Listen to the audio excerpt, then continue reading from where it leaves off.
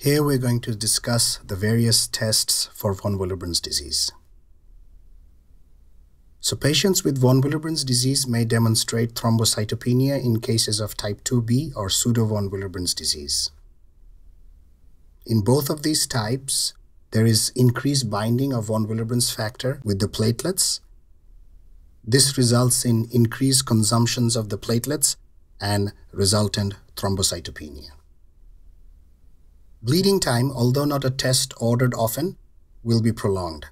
This is because in von Willebrand's disease, there is defective platelet adhesion. In von Willebrand's disease, there is reduced levels of factor VIII. This will result in prolonged PTT. Mixing study should show correction. There is a test called von Willebrand's disease panel, and this panel consists of three tests the first is measuring factor VIII levels. The second is measuring von Willebrand's factor antigen levels. And the third is measuring von Willebrand's factor functional activity. And this is also known as ristocetin cofactor activity. Type 1 von Willebrand's disease is a mild abnormality. In this type, there is mild deficiency of all the three levels tested. In type 3, there is severe deficiency of all three factors. In type 2, results vary according to the subtype. In type 2N, factor 8 levels are low. This is because in type 2N, von Willebrand's factor and factor 8 cannot bind properly. Factor 8 is thus destroyed. In type 2M, von Willebrand factor antigen levels will be normal Functional activity and factor VIII levels are low. This is because in type 2M, the multimers are present but do not work properly. In type 2A and B, the results of von Willebrand's disease panel varies. Now I would like to discuss ristocetin-induced platelet aggregation. Ristocetin was originally an antibiotic which is no longer used. However, it enhances the interaction of von Willebrand's factor with GP1B. Ristocetin induces von Willebrand's factor and platelet GP1B to interact and results in platelet clumping. This is normally seen in healthy people with high dose of ristocetin, but not with a low dose of ristocetin. In von Willebrand's disease, there is reduced aggregation of platelets with high dose of ristocetin. Low dose is not affected. However, in the subtype type 2b, even with low dose of ristocetin, platelet aggregation is observed. This is because in type 2b, the von Willebrand's factor has increased affinity for platelet GP1b, and even a small dose of ristocetin is enough to cause aggregation.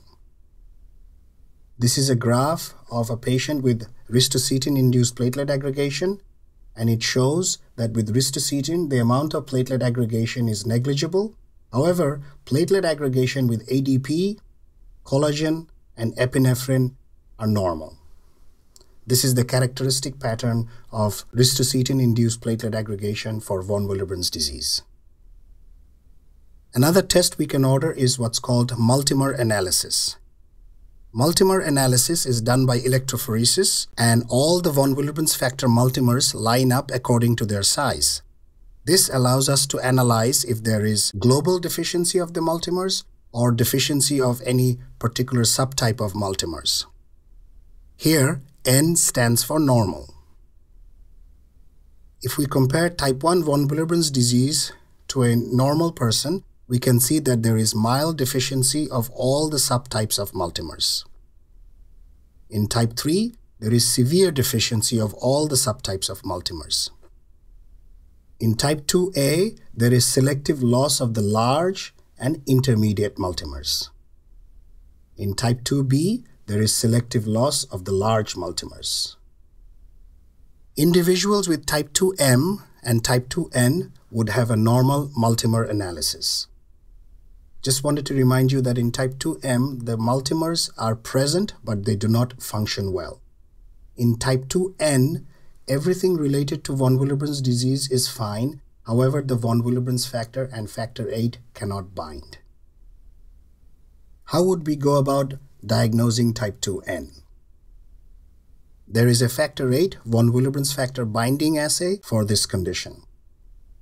In type 2N, the binding of von Willebrand's factor and factor 8 is abnormal.